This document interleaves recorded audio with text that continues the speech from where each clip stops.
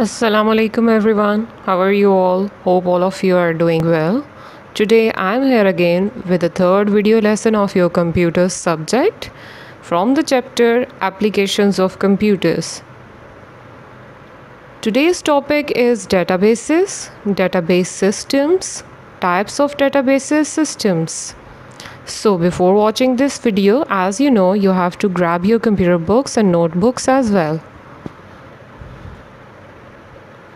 Here are the contents of today's lesson Database, Database Management System, Features of DBMS, Types of DBMS. The first type is TPS, Transaction Processing System. Second is MIS, Management Information System. Third, Decision Support System, DSS. Fourth, ES expert system. Then you have the softwares of DBMS as well. At the end of this video lesson, you have an activity.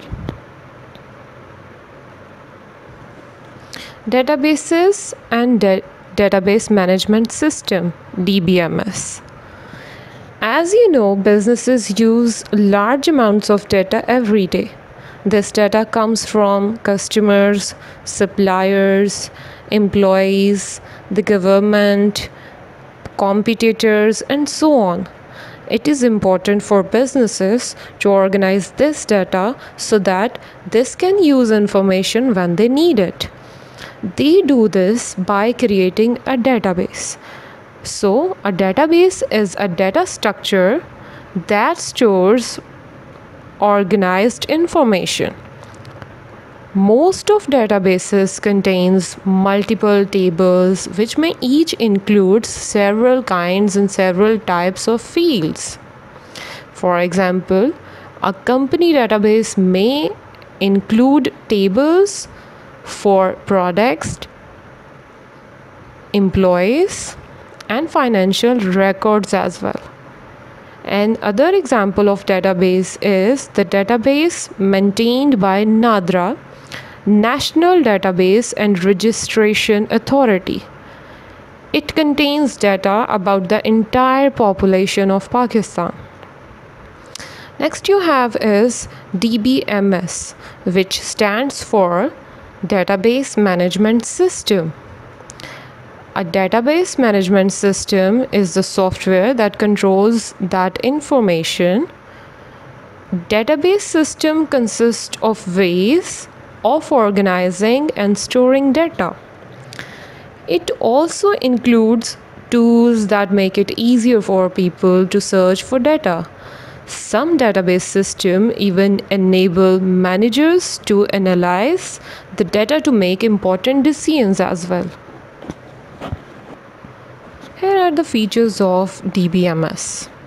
The first feature is minimum duplication and redundancy. As you know, there is no physical file, so there is no chance of repetition or duplication because of digital data or digital files. Because of digital data, as you know, you cannot enter your data twice time because जब आप toys time entry करते हो आपको पता है कि आप किसी फोल्डर में डबल टाइम एंट्री करते हो तो वो आपको एक नोटिफिकेशन शो करता है कि आपको जो अर्लियर फ़ाइल है उस पर इसको रिप्लेस करना है या फिर इसको न्यू वन के तौर पर सेव करना है so there is minimum duplication and redundancy saves storage space and cost. Because of paper procedure, no need of paper files and that's why there is no need of storage space as well क्योंकि जब हमारे पास paper files नहीं होंगी तो हमें उनको कहीं भी प्लेस करने के लिए कोई स्टोरेज स्पेस नहीं चाहिए होगी so that's why cost will also go go down anyone can work on it. It is that much easy to use that everyone can use without learning any special programming languages. multi-user access. Because of digital online data, multiple users have access to use from different places as well. Provides high level of security. Digital online data की वजह से there is no chance of losing data so because digital data it is secured with the password which is unbreakable. So that's why it is highly secured. The next one and the last one feature of DBMS is large database maintenance. So, we have billions of bits of data stores on same DBMS हमारे पास huge and bulk amount of data होता है, जिसे हम database management system में easily organised way में store कर सकते हैं। जैसे मैंने आपको पहले भी बताया है, नादरा की example so the next one so here are the some types of dbms as well all database systems enable users to store and access useful data however not all database system can help managers to make decisions. So let's learn more about the different types of database systems. There are four types of database system. The first one is transaction processing system TPS. Second is the management information system MIS. Third is the Decision Support System DSS. And the last one is the Expert System ES. Here is the pyramid of types of DBMS at the right side of your screen. Bottoms to up, transaction processing systems. इसमें workers include होते हैं। Management information systems इसमें middle managers अपने सारे detail को manage करते हैं maintain करते हैं। Decision support systems senior managers आएँगे इसमें। Then you have executive information systems which may include the executives Okay, the first one type Transaction Processing System TPS.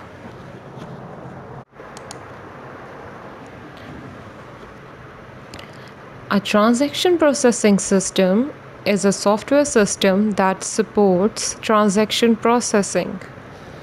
It is the simplest type of database system it helps employees to perform routine tasks like filling out customer orders, preparing bills, calculating employees' salaries, and other similar tasks.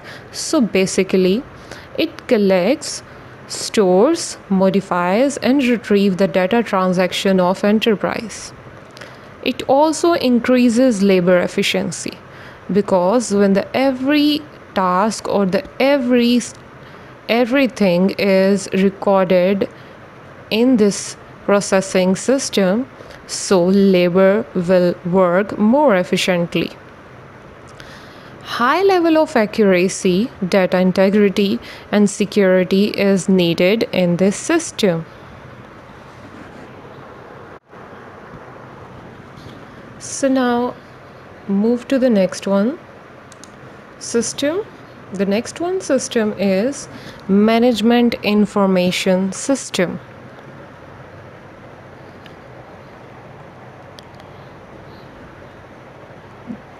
The management information system is more useful to the managers because it enables them search for information that they can use to make decisions.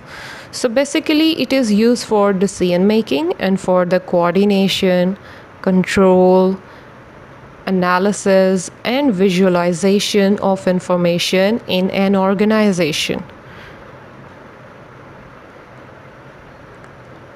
It contains features that allow managers to create reports and charts based on that data.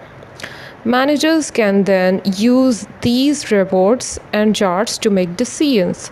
So basically, it acts as a communication and planning tool.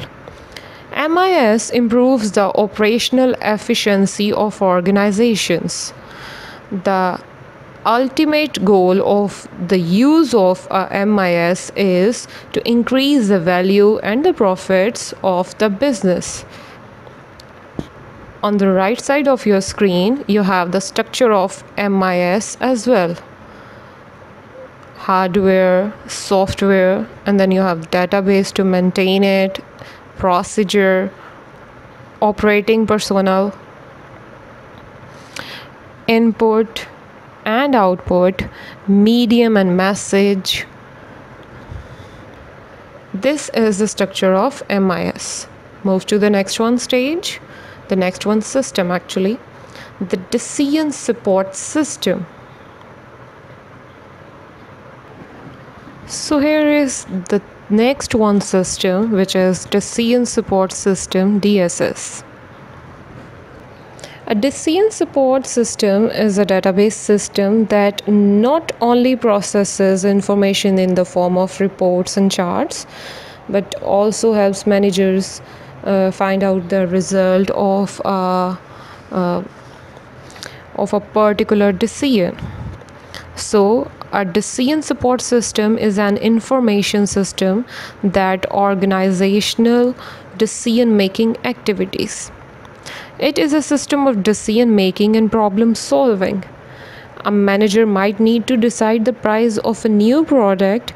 He could fix the price at either rupees 10 or rupees 12 what should he do?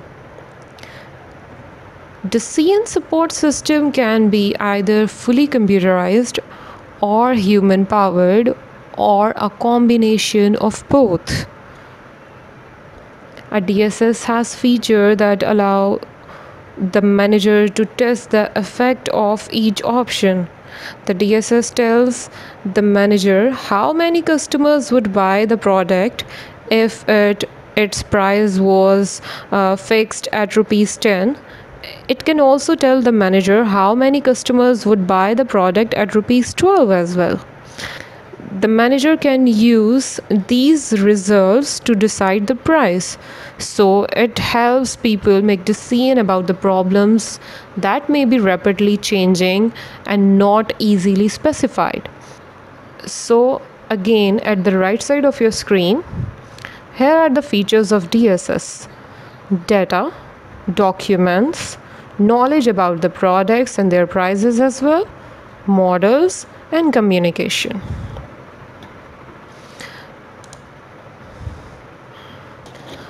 So the last one system is expert system. It is the most advanced type of database system. It is the piece of software which uses databases of expert knowledge to offer advice or make decisions. In addition to giving the results of several options, an expert system also suggests, suggests a decision to a manager and ES might suggest that a manager fixed their price at rupees 10 because more customers will buy it at a lower price. However export systems are used for more complicated pro- complicated problems as well. So an expert system is a computer system that emulates the decision making ability of a human expert so basically the fundamental of the es depends upon its knowledge. So if you have no knowledge you can't take decisions so for decision taking you have to have knowledge. So therefore it is also called it is also known as knowledge based system on the right side of your screen here is the structure of expert system you can see there is a non-expert user and the other side there is a knowledge from an expert sample input किया जा रहा है इसमें So with the help of a user interface, the export system interacts with the users, takes queries as an input in a readable format and passes it to the interference engine. After getting the response from the interference engine, it depends the output to the user in other words, you can say it is an interface that helps a non expert user to communicate with the expert system to find a solution. तो मैं आपको इसकी example इस तरह से दूंगी कि बहुत सारी इस तरह की इंफॉर्मेशन जो आपको नहीं पता होती या एक प्रोसेस जिसमें आपको नहीं पता कि किस तरह से परफॉर्म करना है you need your teacher for your guidance so teacher is an expert and you you are a non expert user तो आप टीचर की हेल्प से अपने उस प्रोसेस को प्रॉपरली परफॉर्म कर सकते हो। so move to the next one. So students here we have the top DBMS softwares.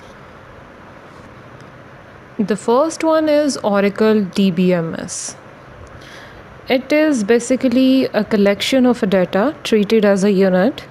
The purpose of a database is to store and retrieve related information. The next one is Microsoft Structured Query Language Server, MS SQL Server.